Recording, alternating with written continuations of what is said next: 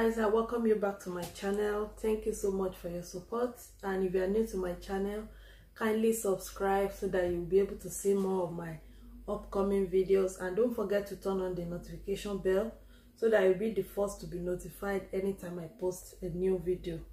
So in this video today i'll be showing you how to draft a bustier pattern with yoke. And i'm going to be using the same pattern to cut and sew a peplum blouse with bustier with this bustier pattern. So let's get started. So the first thing i will do to make it very easy for us is to draft out the basic bodice. I'll be working with this measurement i have here. So the first thing to do is to you know your starting point and this edge will be my starting point and it will be the shoulder line. So you measure your your bust line. So i have 11 and a half here and the under bust 14 and a half. Then the waistline is 17 so like that. Then I'll do the same thing here. In order to get it accurately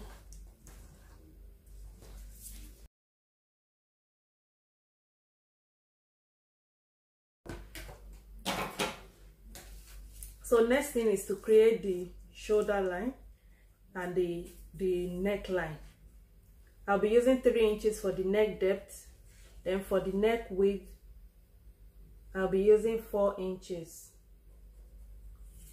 Then the shoulder i'm working with is eight inches so i'm just going to mark eight and a half. The half that half inch will be for joining at the shoulder. So i'm marking eight and a half then I'll connect the neckline.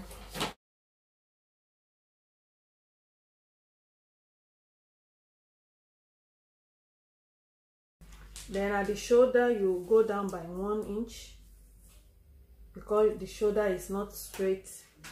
Then I'll connect that.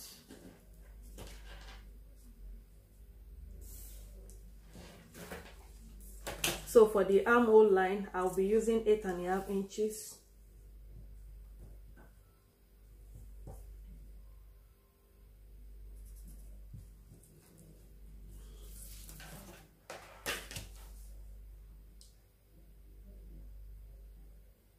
can watch my video on how to make a basic bodice pattern so that you know how to calculate the armhole line.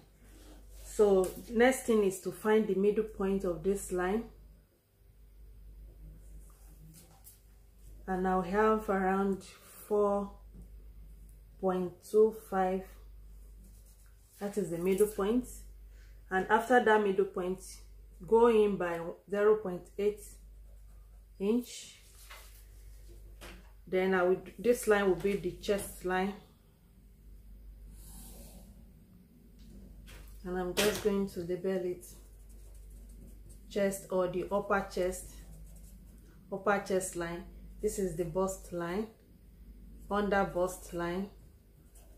And the waistline so I will now connect this point to this and then to the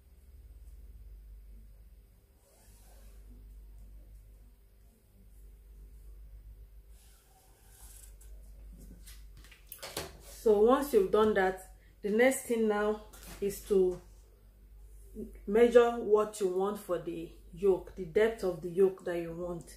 So i'll be using you can use five inches you can use six inches. So it depends on what you want. And just imagine you're you're making uh, your usual blouse. So the depth that you will use is the same thing as the depth that you will use for the yoke so but remember that the yoke neckline is not going to be as deep as the usual blouse. So i'll just use six inches uh, 5.5 inches. So this is this is the depth. So the next thing is to connect from the middle point of the armhole line to this point down straight to your center front.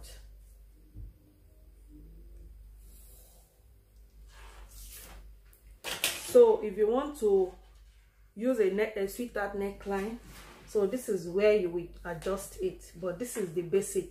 So i'll be using a sweetheart neckline for this and then i'm just going to shape it a little bit from this point to the center front. So you can go down like one inch or 1.5 inches. So it depends on what you want. So just like that. Like that. So once you are able to do this the next thing now is to work on the bust line. So the nipple to nipple measurement you measured you will divide it by two.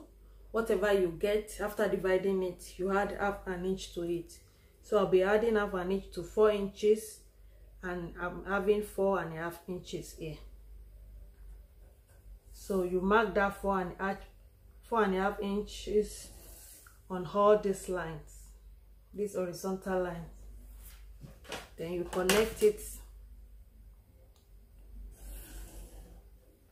like that. So the next thing now is to place the dart and to do that i will start from this line this yoke line and i'll be marking one inch at both sides like that then at the bust point I will go down by half an inch at the bust point. You can go down by one inch and you can go down by half an inch for this pattern. So it depends, but we advise that you go down either by half an inch or by one inch. Don't just mark straight on the bust point. Then to the under bust, I'll be using two inches for the under bust as well. So I'm marking one inch at both sides and then on the waistline you can so i'll be using 1.5 inch here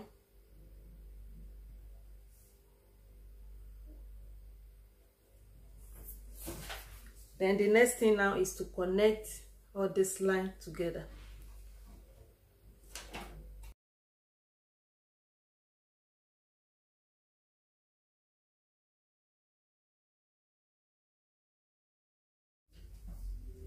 So the next thing we want to do now is to place our measurement.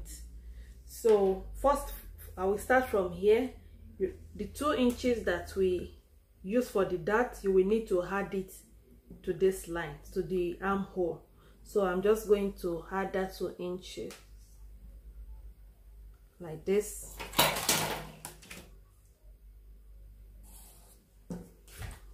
Like that. And then on the bust line you will have you measure the you divide the bust you are working with by four.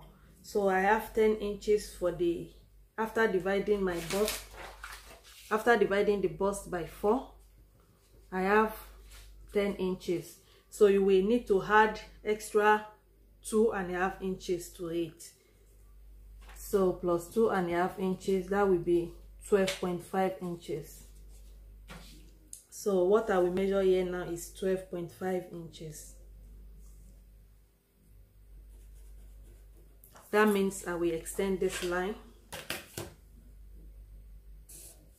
So I'm just going to extend all the line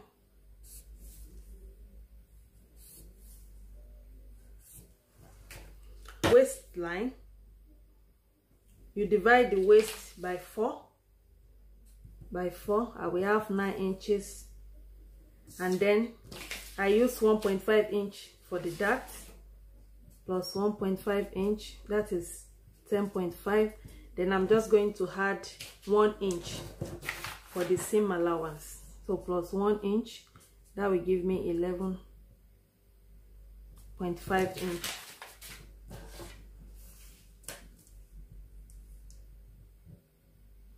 so 11.5 inches. So you can add here you can add two inches you can add 1.5 inches. So depending on how you want the allowance you want at the side seam. But we suggest that you add allowance to it. It's better to have excess than to be short of fabric. So once you've done that the next thing is now to connect this new armhole midpoint. We connect it to this line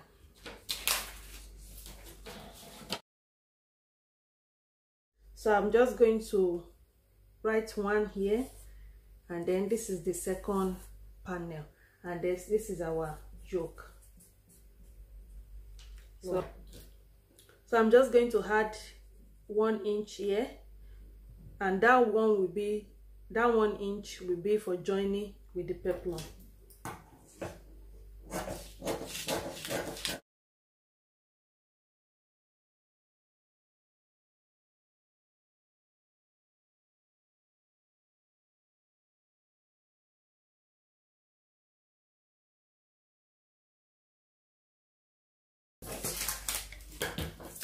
so this is what we have. And this is the yoke. So, so this is the back. And uh, we're going to add zip allowance to the back. So i'll just mark 1.5 inch. It is 1.5 inch. So after that you create the back neckline so I'll be using the same uh, the same thing for the back as well for the yoke. So I'm just going to trace it. So like this.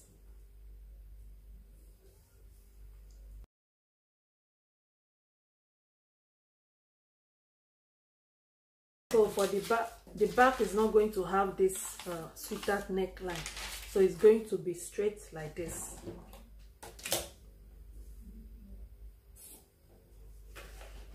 So and for the front i use 8.5 inch for the armhole depth. So that is what i will use here as well. 8.5 inch.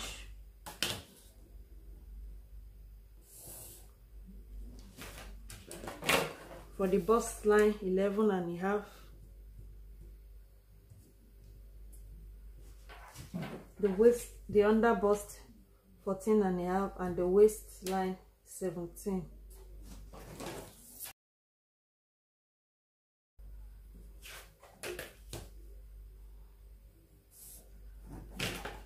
so for the back you need to draw out this horizontal line and then the yoke. So i'm just going to mark this as the yoke for the back. Then to create the armhole line we're not coming in at this point so you just draw from here to this point.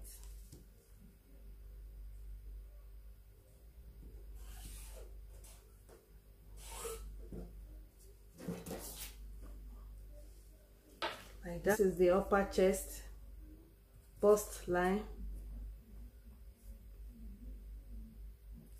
Under bust and the waistline. Once you've created the armhole cuff, then you come to the bust line. You measure the you the nipple to nipple measurement. That is four. So you mark four inches the nipple to nipple measurement at the bust line and then you draw a line a vertical line from the upper chest to the waistline at the upper chest now. You go down by one inch. Like this. And at the waistline you use one inch for that. So dart will be 0 0.5 each at both sides then you connect that point to the waistline to create the waist that.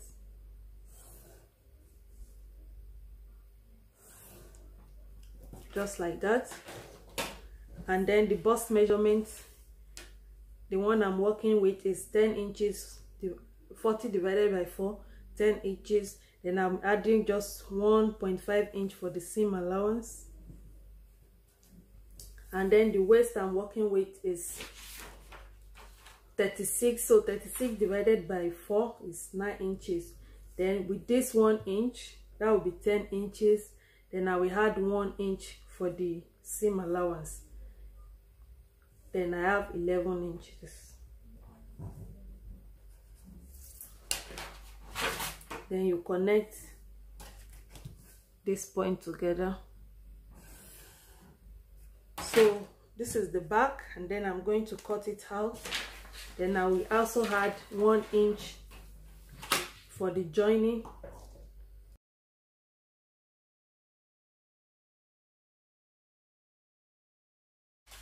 so this is it. Then i'll just separate the yoke from the the rest of the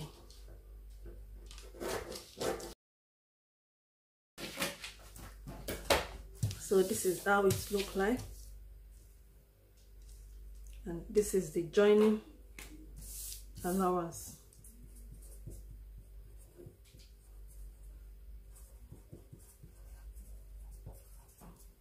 so this is how it look like and this is the front and this is the back. So we're going to be using this pattern to cut and sew a blouse with peplum